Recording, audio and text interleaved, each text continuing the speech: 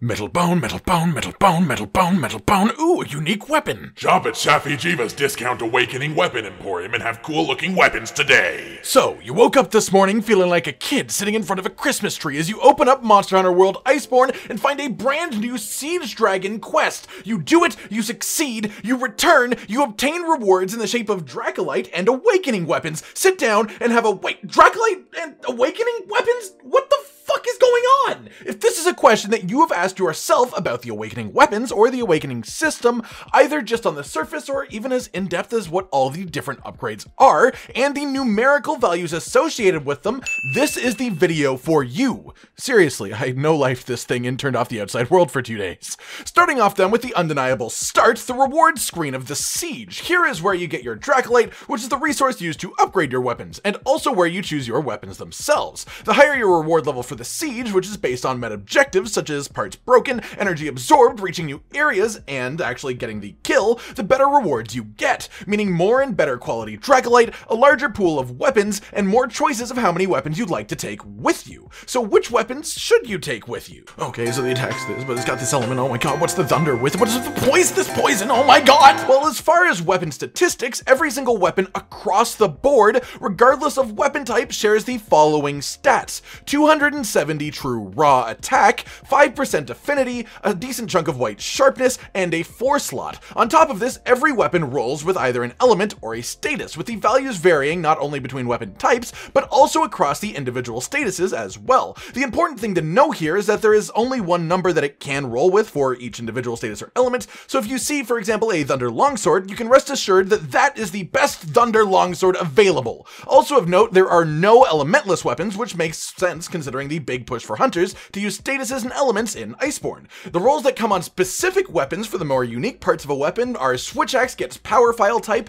Gun Lance with normal shelling level 5, but that can be changed afterwards, Hunting Horn rolls with these songs, but these also can change afterwards, Charge Blade rolls with impact phials for status weapons and power elemental phials for elemental weapons, Insect Glaive rolls with speed, which again can be changed afterwards, Light Bowguns can roll with each element as a focus, meaning that it has rapid fire for said element. Though heavy bowguns seem to come in Pierce 3, Spread 3, one for fire and thunder, one for water and ice, and one with auto reload ammo for normal. And finally, the bow rolls with power and close range coating, though once again, this can actually change after the fact. Put simply, this part of the system has an incredibly small amount of actual RNG, and every weapon is very carefully balanced to be as close to even with each other as possible. So on this screen, the only thing that you really have to do is pick the weapons that match both a weapon type that you want and element slash status that you want on it. It really is that easy. Oh, I'm so happy! I'm so happy! This is the best day of my life! What you'll also notice is that these weapons come with 5 awakened ability slots, and on this screen they have one already applied, as weapons roll with one innately, though they can be overridden after the fact, so this doesn't need to be taken into consideration for which weapon you choose here, aside from it just being a nice bonus to already having a good ability on a weapon that you already want to choose. So what these abilities work out to be is sort of like a secondary weapon augment system, where you can use them to raise attack or defense and things like that, but you also have things like sharpness and even a set bonus, by which I mean choosing the set bonus one makes your weapon act as one piece towards a set bonus. So a weapon with Teostra technique, for example, would mean that you only need to wear two pieces of Teostra armor to get Master's Touch. What? What? What? Which is just absolutely ridiculous. Each of these awakened abilities has a star rating, from 1 to what I'm going to call 6 stars because it's just 5 stars a second time, but glowing, though I believe the game simply refers to these as special rarity abilities, which is simply too long a name for my taste, so 6 stars. These stars, for the most part, very accurately reflect the quality of the ability, but also reflect how rare it is to find. Each star of an ability counts towards your overall awakening level, meaning a weapon with a 3 star ability and a 2 star ability is awakening level 5, which is important for two reasons. Firstly, is actually the visuals of your weapon, which start off quite nice, very classy, but when you get your weapon to awakening level 23, your weapon will, uh, for lack of a better word, awaken. Say the line, Bart! And on all the weapons, the cloth bits start glowing all crazy and flying around, and the lighting effects get a serious overhaul. However, on some of the luckier ones, like this motherfucking hammer, oh my god, you get some serious glorious fucking beauty of weapon design.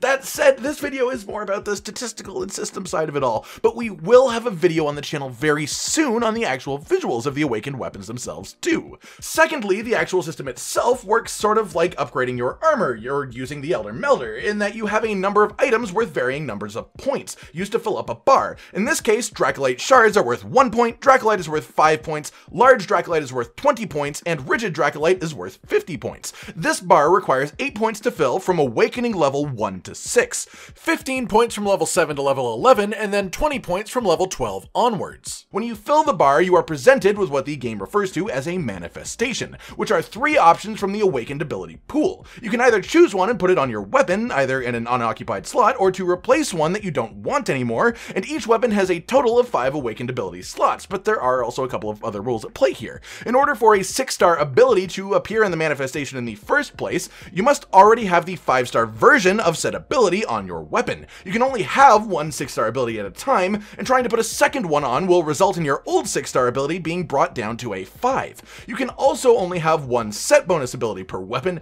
as well as two slot upgrade abilities per weapon, as there are only two possible extra slot locations. You can, however, have as many of the general stat ones as you want, so you can really tunnel in on a stat if you feel like it. For example, you can have four 5-star attack mods and a 6-star attack mod, which is just a ridiculous amount of extra attack. On this screen, you can also choose to not take any ability and quote-unquote store your potential, which is essentially a form of bad luck protection. You can store your potential up to 20 times, each time slightly increasing your chances of rarer and more valuable awakened abilities, and while the counter technically just keeps going up, this mechanic does gain its maximum effectiveness at 20. A neat bonus is that you actually gain levels of stored potential for a weapon by having it equipped when you complete objectives during the Safi'jiiva siege. So if you hunt the monster with the monster, you apparently absorb the monster's power, which considering the monster in question is actually really cool from a lore perspective as well. The general upgrades that all the weapons share then are as follows. Attack level 1 to 6 for a gain of 2 true raw per rank. Affinity level 1 to 6 for a gain of 2% affinity per rank. Slot level 1 to 4 for a gain of 1 slot level per rank.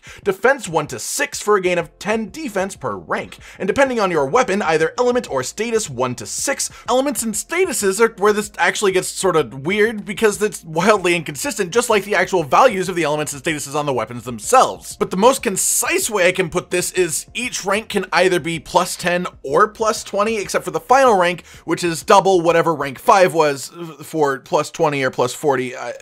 Melee weapons get sharpness level 1 to 6, which gives you an extra 10 hits of sharpness per rank. A sharpness 4 ability is actually enough to get 10 points of purple sharpness to appear on your weapon as well, with the final rank of every one of those skills being a 6 star ability. Excuse me, did somebody say star?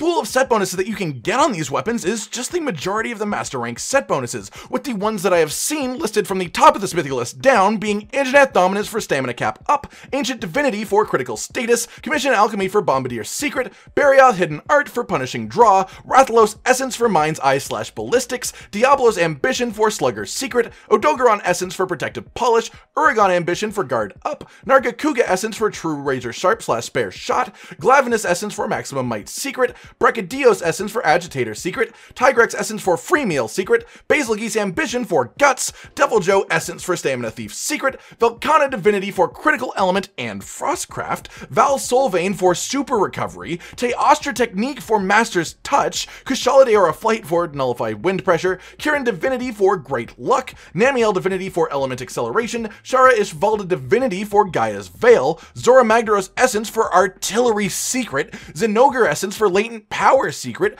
Gold Rathian Essence for Divine Power Secret and True Critical Status, Silver Rathalos Essence for Slayer Capacity Secret and True Critical Elements, Lunastra Essence for Tool Specialist Secret, Nergigante Ambition for Hasten Recovery, and Rajang's Rage for Mind's Eye slash Ballistics and Protective Polish. The ones that I haven't personally seen but would assume are kicking around somewhere are Rathian Essence for Poison Duration Up and Legiana Ambition for Bow Charge Plus. I also haven't seen Instructor's Guidance for Capture Master or Guild Pride for Good Luck in Carving Master, though I don't expect to see them as they are from Arena armor sets. And I also haven't seen Safi'Jiiva's armor set bonus, but again, I wouldn't personally expect for that one to exist, though I could be proven wrong. If you have seen any of those bonuses that I haven't, please leave a comment so other people know, and because I know you love telling me when I'm incorrect and stupid. That's stupid. You're stupid. Stop being stupid. There are also a fairly large number of weapon-specific awakened ability, which as far as I'm concerned are generally really, really cool. Hunting Horn is probably the most customizable weapon here by far, as, and I'll have these slowly flashing by here, you can actually change your initial song list to 14 separate and different song lists through awakened abilities, with attack melody 1 to 4 being ones that focus around attack buffs, stamina 1 to 4 being ones that focus around stamina buffs, elemental 1 to 4 being ones that focus around elemental buffs, the abnormal status melody focusing around status buffs, and the earplugs melody focusing on earplugs. If you include the base song list for the weapon, that makes a total of 15 different sets of songs that you can choose from to have on your hunting horn. Good for you. With the final levels of these song sets with 4 ranks being a 5 star ability, and the singular rank skill sets both counting as 2 star abilities. The song set that most people tend to run in the game, the old attack up large, defense up large song set, is actually attack melody number 3, which is the 4 star variant. You can only have one of these melody abilities on your weapon at a time, so unfortunately no crazy song stacking will be done today. Gunlance gets shelling awakening abilities for each shelling type, with the ability to get level 6 of long and wide shelling, with the first rank simply changing your shelling type to level 5 of the selected type, and the second rank giving you level 6 of said shelling. The first rank of normal, however, brings you to level 6 normal shelling, and the second rank brings you to level 7. Switch Axe can change their power phial out for an exhaust phial of varying power, with level 1 being 180, and then going up 30 exhaust per rank up to the 5 star version, and then finally a 6 star version which is worth 60 more points for a total of 360 exhaust. Insect Glaive gets Kinsect modifying abilities with stamina slash health boost and spirit slash strength boost at 3 and 4 stars respectively. Both light and heavy bowgun get a few bonus ones as well, with one that is just straight up the equivalent of having an extra bowgun mod slot, with the options being deviation suppressor, recoil suppressor, and reload assist, and you can only have one of these equipped at a time. You can also get awakened abilities for the bowguns that boost your ammo count, with the options being normal, spread, pierce, and elemental, and the ranks being 1 extra ammo at 4 stars, 2 extra ammo at 5 stars, and 3 extra ammo at 6 stars. Needless to say, bowguns are pretty fucking nuts right now. Nuts. Nuts. Nuts. One slap, you got. Nuts. And finally, Bow gets a status coating awakened ability type, with the 4 star being extra strong poison, the 5 star being that plus paralysis, and the 6 star version being both of these as well as sleep coating, so you get quite a bit of customization on this as well. As far as playing the system goes, there are a couple of ways to do this particularly efficiently, depending on what your goal is. If you just want to have this done as quickly as physically possible, you have a ton of Dracolite and just want your specific upgrades as soon as possible, then you should immediately grab the things that you want at the lowest level they are available to you, as seeing an upgraded version of an ability you already have is more likely than just seeing that straight up ability, as it adds it to the pool. For example, in the base pool, let's say there is one version of attack 2. However, if you put attack 1 on your weapon, the pool now has add attack 2 as well as upgrade attack 2, as the add option can be applied to the weapon in a different slot, whereas the upgrade version can only be applied to the one that is already one star below it. And this next part may just be a coincidence, but I did feel like I was seeing the upgrade options a lot more frequently than the pure add options as well.